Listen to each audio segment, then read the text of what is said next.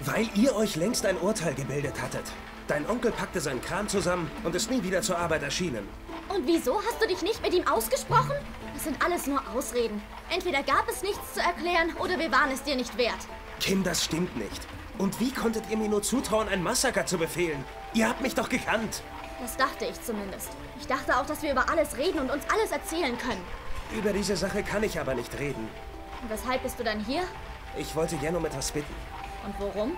Um die Aufzeichnungen seiner Tibet-Expedition. Das ist der einzige Grund? Ja, Ich verstehe. Wofür brauchst du die Aufzeichnungen? das, das kann ich dir leider auch nicht sagen. So, das kannst du mir also auch nicht sagen. Was denkst du dir eigentlich, Fenton Paddock? Du gehst jetzt besser. Kim, bitte. Diese Karten sind unheimlich wichtig für mich. Ach ja? Dann erklär mir weshalb. Wenn ich dir vertrauen soll, dann vertrau du mir auch oder geh mir aus den Augen. Kim, ich will nicht, dass du in Schwierigkeiten gerätst. Hallo Schätzchen. Oh, da habe ich wohl ein kleines Rendezvous gestört. Schätzchen? Sind sie eigentlich noch ganz klar im Kopf? Halt die Klappe und hör mir genau zu. Ich will die Karten haben, die der alte Buang auf seiner Tibet-Reise gezeichnet hat. Wo sind sie? Welche Karten? Und mein Onkel war nie in Tibet. Verschwende nicht meine Zeit, Mädchen, sonst werde ich ungemütlich. Ich will alle Aufzeichnungen, die er aus Tibet mitgebracht hat. Und beeil dich, sonst muss ich dich auf meine ganz spezielle Art motivieren. Nun mach schon, gib sie mir.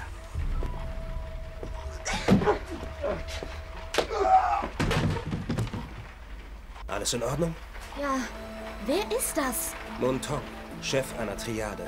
Hier, nimm seine Pistole und behalt ihn im Auge. Ich schau mal kurz raus. Wo er ist, sind seine Schergen meist nicht weit.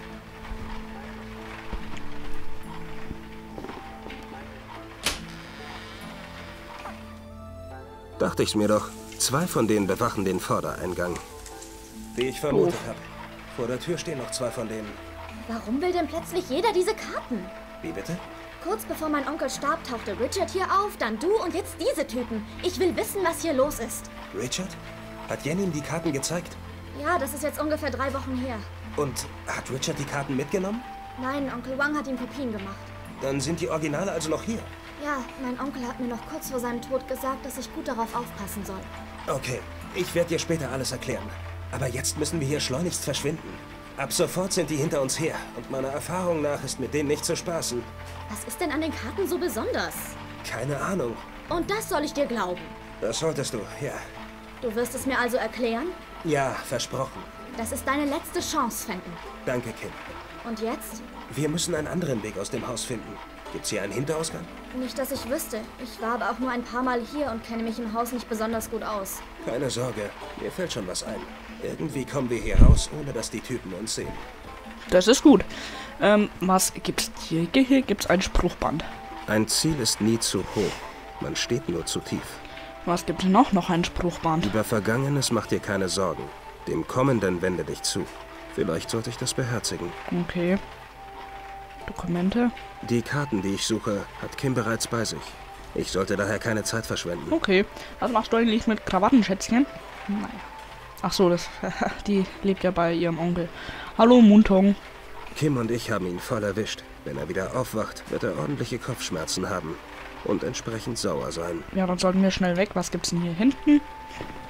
Noch ein Spruchband. Was man mühelos erreichen kann, ist gewöhnlich nicht der Mühe wert, erreicht zu werden. Was steht noch auf dem Ich Tisch? sehe nichts, was uns bei unserer Flucht helfen könnte. Schade. Dann gehen wir mal. Ich muss vorsichtig sein. Sie dürfen mich nicht sehen. Okay, was. Ein Lampion. Im Lampion brennt eine Kerze. Können wir den mitnehmen? Er hängt sehr weit vorn. Wenn ich mich über die Brüstung lehne, könnten mich die Triadentypen bemerken. Dann nehmen wir mal den Bambusstab und Der. Bambusstab ist zwar lang genug, um den Lampion abzuhängen, aber ich befürchte, dass der mir an dem glatten Stab abrutschen würde. Na, tolle Wurst. Gut, ich muss also irgendwie den Nagel da rausbekommen. Was gibt's denn hier noch? Ähm, ein Auto, Der Wagen der Schläger. ähm, Lampignon und Triadenschläger. Ja gut, mit denen will ich eigentlich nichts zu tun haben. Gibt's hier noch was? Ach, ein Spruchband und ja gut, sonst nichts. Zeitungsseiten. Die sind schon ein paar Wochen alt. Außerdem bin ich nicht zum Zeitunglesen hier. Gut, sonst gibt es hier auch nichts. Also gehen wir mal hier wieder raus. Und wir schauen mal das Fahrrad Ein an. Kinderfahrrad. Es ist an der Wand angekettet. Ein Kinderfahrrad. Gut. Ähm, wir müssen hier irgendwie an den Nagel kommen. Ich kann ihn nicht. Gut, ähm, Bambusstab. Können wir den hier mit irgendwas kombinieren? Mit dem Nagel nicht. Was gibt's denn hier noch? Nagel, Blumentopf. Der Blumentopf hat überall Risse. Ich fasse ihn besser nicht an. Er würde wahrscheinlich zerbrechen, wenn ich ihn bewege. Ja, Memme. Fahrrad, Tür. Ähm, gut. Was steht denn hier auf dem Spruchband? Hier steht, lieber eine Kerze anzünden, als über die Finsternis klagen. Eine alte Weisheit. Na toll. Ich weiß, warte mal. Also, Ein hohler ba ein hohler Bambusstab.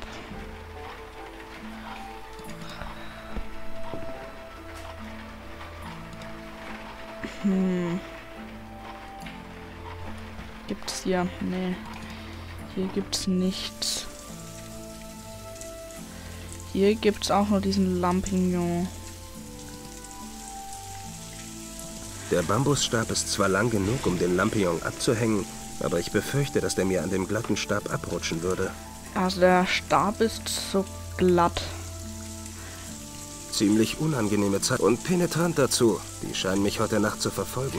Doof. Die lassen nicht mit sich reden. Diese Erfahrung habe ich heute ja schon gemacht. Okay. Gut, also ich komme so nicht weiter. Ähm, an, dies, an das Rätsel kann ich mich aber nicht mehr so richtig gut erinnern. Ich weiß, dass ich schon damals nicht konnte. Ah, ein Ein Kleiderbügel. einfacher Kleiderbügel. Nimm den doch mal mit. So, und jetzt steck den doch mal hier an den Der Bambusstab. Kleiderbügel passt exakt in den Hohlraum des Bambusstabs. Perfekt. Jetzt gehen wir nochmal hier hin und hier hin. Und Das sollte klappen. Ich muss aber trotzdem vorsichtig sein. häng mal den Lampion ab.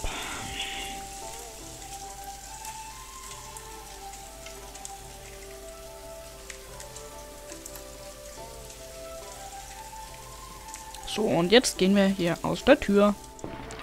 So. Was machen wir jetzt mit dem Lampignon? Wir hängen den, versuchen wir mal an den Nagel zu hängen. Das müsste ja eigentlich gehen.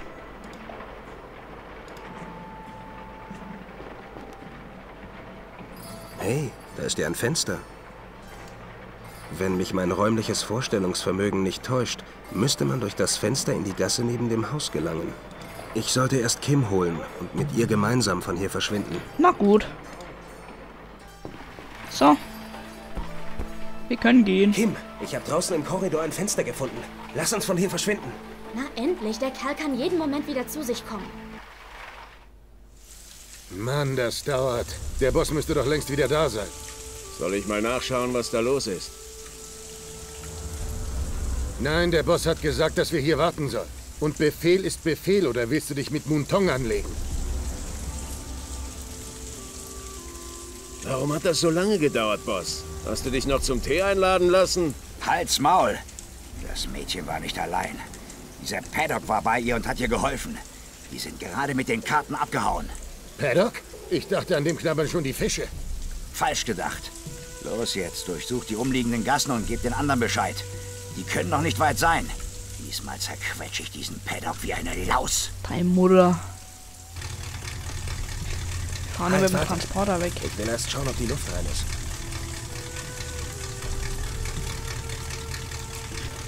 Hast du jetzt vor, Fenton? Wir müssen zum Weg. Flughafen. In meinem Büro sind wir erstmal sicher. Dann kann ich dir alles in Ruhe erklären. Ja. Hierher! Wir haben sie gefunden! Verdammt! Kim, der Motor des LKWs läuft. Spring rein und fahr los. Ich gebe dir Deckung. Und was wird aus dir? Fahr los, ich spring dann auf die Ladefläche. Hauen mit dem LKW ab! Das sehe ich auch! Hol den Wagen! Okay.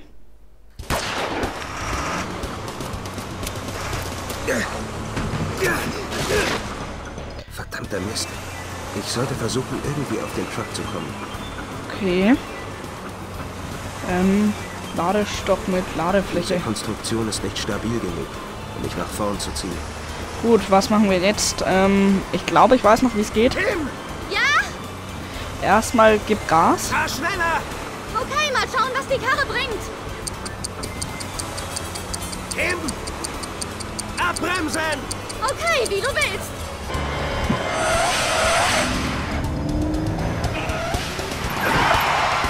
Geschafft. Alles in Ordnung? Ja, drück auf die Tube! Kim, solange diese Typen uns verfolgen, darfst du nicht zum Flughafen fahren. Schon klar. Irgendwelche Vorschläge? Bleib auf dieser Straße. Ich versuche, die Typen loszuwerden. Klingt gut. Und ich sehe hier Fireworks. Und ich sehe hier eine Scherbe, die ich erstmal mit dem Haken ranholen. Damit könnte ich die Scherbe zu mir herziehen. Macht es.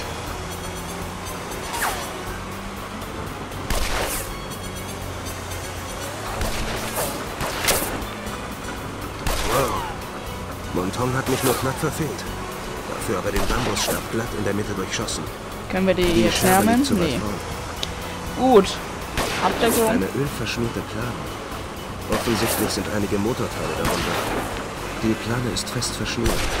Ich kann sie nicht wegziehen. Okay, eine In Kiste. der Kiste sind Feuerwerkskörper. Sie ist verschlossen. Schade. Dann wechseln wir jetzt mal zu Kim. Was gibt's denn hier so? Das ist ein Zigarrenanzünder. Wenn man ihn anschaltet, erhitzt er sich. Cool. Was hast du denn hier noch so? Händen auf Ladefläche. Ein Schlüssel. So. Gibst du den Schlüssel mal dem Herrn Paddock? Äh, ja, passt. So. Und jetzt. Damit kannst du sicher die Kiste aufmachen. So. Du aber äh, jetzt ein paar mal nehmen? Okay. Habe ich Raketen?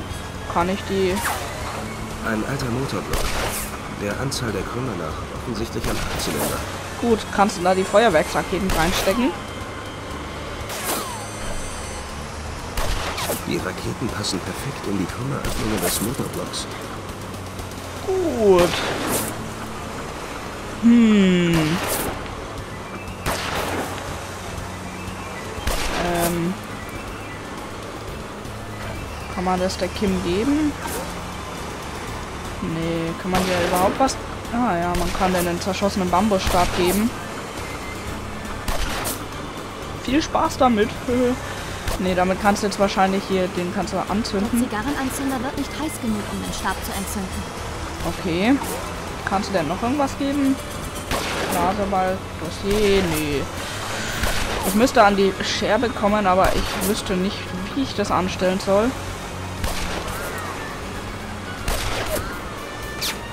Ähm.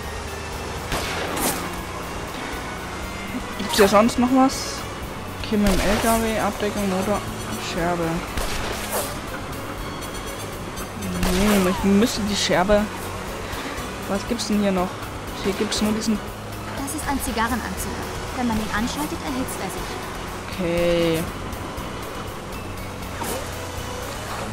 Was kannst du denn hier so machen? Senden. Ähm, sag. Kim, fahr nicht zum Flughafen, solange die Typen. Das sagtest du bereits. Ich bleib immer. Okay, ich lass mir was ab... Mhm, du lässt dir was einfallen. Die Raketen sind perfekt positioniert. Okay, können wir irgendwas mit dem Motor zu machen? Schwer, um ihn zu bewegen oder mitzunehmen. Ist da was Ein dran? Nee. Eine ölverschmierte Plane. Offensichtlich sind einige Motorteile darunter. Die Plane ist fest verschnürt. Ich kann sie nicht wegziehen. Okay, kannst du dem den zerschossenen Bambusstab nochmal geben? Kannst du damit... Zum Glück ist der Bambusstab noch lang genug für einen Ah, ich bin ja auch dumm.